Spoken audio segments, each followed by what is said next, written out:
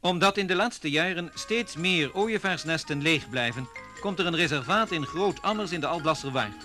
Waar de Nederlandse Vereniging tot Bescherming van Vogels een stuk polder van 6 hectare voor dit doel heeft aangekocht. In kisten arriveerden hier een stuk of 15 ooievaars, die dankzij vele giften in het buitenland konden worden aangekocht. De dieren die gekortwiekt zijn, werden geringd voordat men ze op dit stukje grond de vrijheid gaf.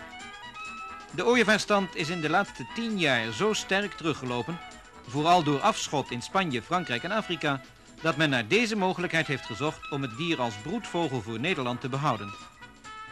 Waren er voor 1940 nog tussen de 3 en 400 paren die hier broeden, in 1967 waren er nog maar 16 paren en in 1968 nog maar 13.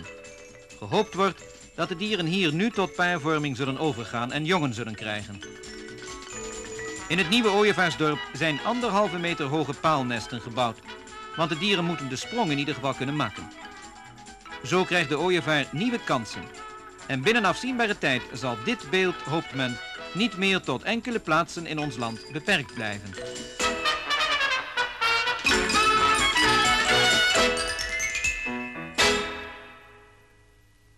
Op de